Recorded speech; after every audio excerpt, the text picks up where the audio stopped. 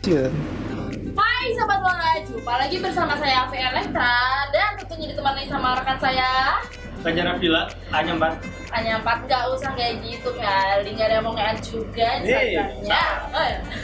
Oke, ini kita lagi dalam acara prediksi Ball di football apa? Lifestyle. Lifestyle ya? Bukan live dong Nah.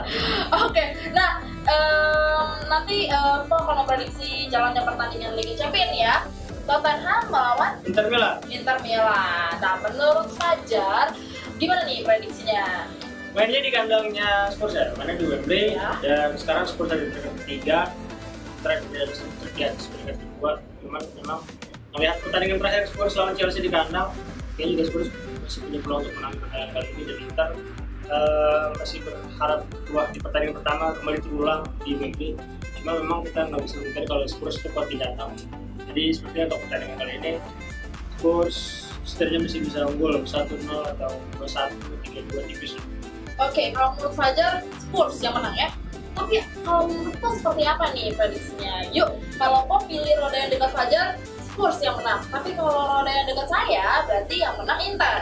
Beda lagi kalau Po kalau Po pilih roda yang tengah, maka pertandingan berakhir dengan imbang nih Fajar. Kita lihat ya. Satu, dua, tiga. Kita taruh di tengah-tengah. Ayo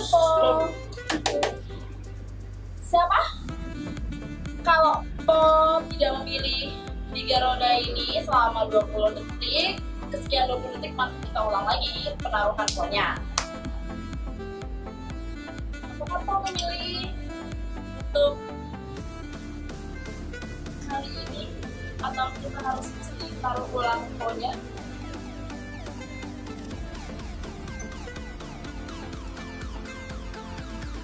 Bagaimana? Ya! Belum tahu kita lihat pertandingan seperti apa Ya benar, tapi setidaknya kalian kelompok berdua ya. Ini itu tadi prediksi Pau.